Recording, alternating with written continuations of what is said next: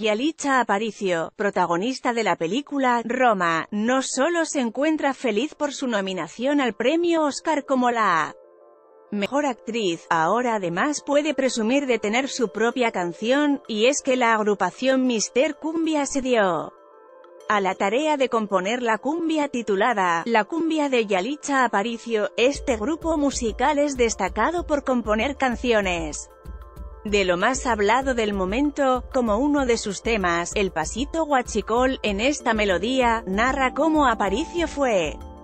que trabajó en la película de Cuarón, largometraje que ha ganado varios premios a nivel mundial, entre ellos el León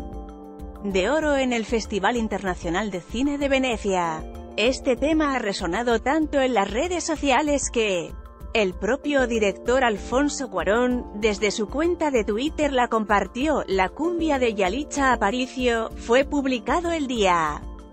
29 de enero y ha conseguido más de 28.300 reproducciones también califica a la nominada como Orgullo Nacional.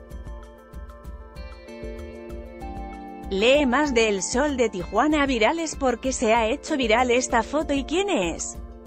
Ella, virales, Parquita, de Tijuana se hace viral.